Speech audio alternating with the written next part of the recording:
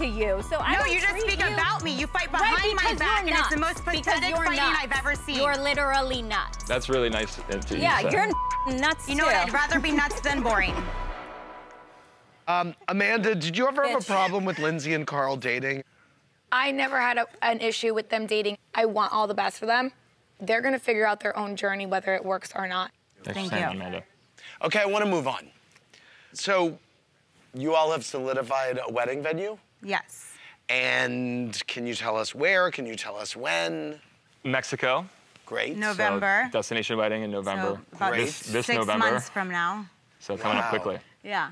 Who of your housemates will be invited?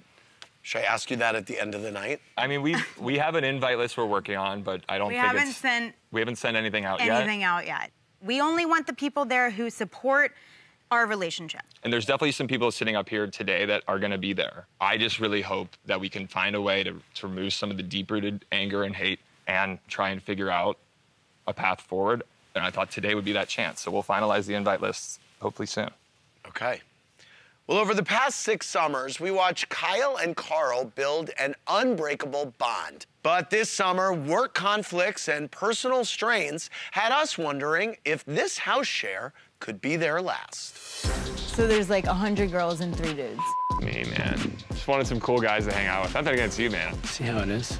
I'm gonna have to have a conversation with Carl. The vibe that I've been picking up is like he's on the verge of like just quitting. Like, I'm burned out at Loverboy. I don't feel like I'm valued sometimes. What is different? He has Lindsay in his ear saying, You're invaluable, you're not being appreciated, you're this and that. I'm like, Are you kidding me? Careful what you're dealing with here. You are a master manipulator. Good luck to my best friend, because you're a psycho. Psycho. I can't believe this is the question I'm leading with, but what is the current status of your relationship? Clearly, there's a change in the friendship, let's be honest. You know, it's been complicated when you work with friends. It's hard when you're changing your lifestyle and adjusting things and trying to figure out your career path. And, you know, it came to a head, and I take a lot of responsibility because I didn't actually open up to Kyle as much as I should have coming into last summer. He's given me a lot of opportunity in life and as a man and to grow up, and he's someone that's super important to me. Kyle, fair assessment of where you guys are today?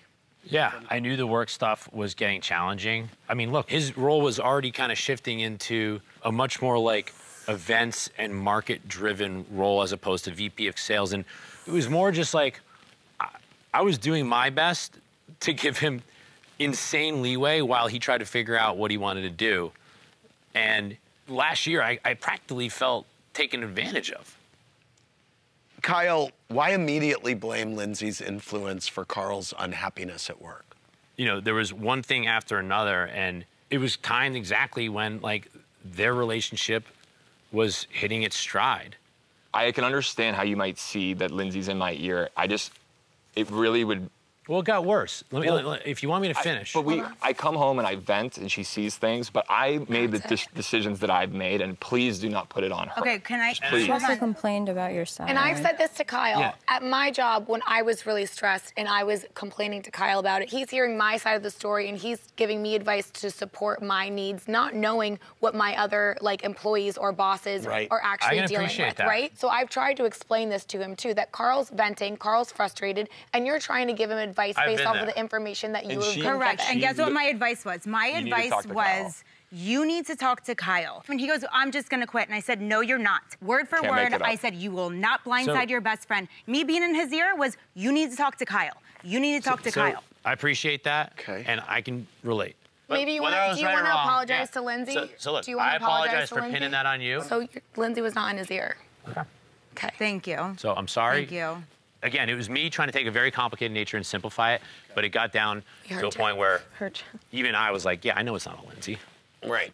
Well, fortunately, Kyle did vocalize his frustrations with Carl early on. Unfortunately, he did it for an audience that did not include Carl himself. He showed up one day so coked out. He didn't bring his computer to work.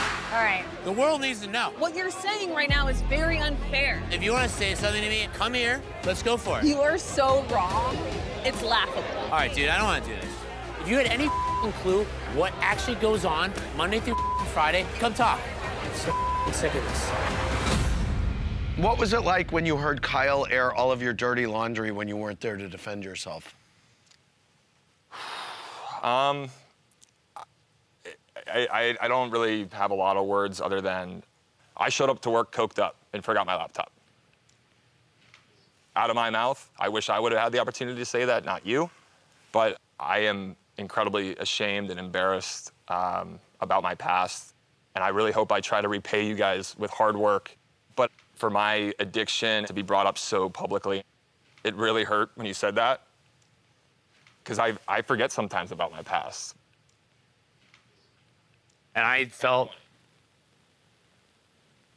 I felt like the dirtiest guy in the world for, you know, even just when it came out of my mouth. Should I have brought it up and done it the way I did? Oh my God, it was so, I'm so ashamed and so embarrassed. And I just knew it was going to be a, a, a knife to the heart.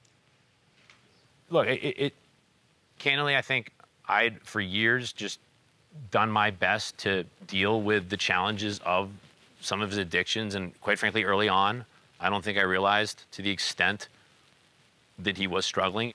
And I felt so bummed and frustrated. And it, it was like me at my worst. I mean, this guy is my best friend. And I can't grasp what he's had to go through. And for me to just like rip that band aid off again, like a year later, like. Give him a hug. No, wait, I, I've never felt more ashamed and, and more sorry. Like you don't need a reminder. You've already, you've already gone through that, and I'm sorry for bringing that up.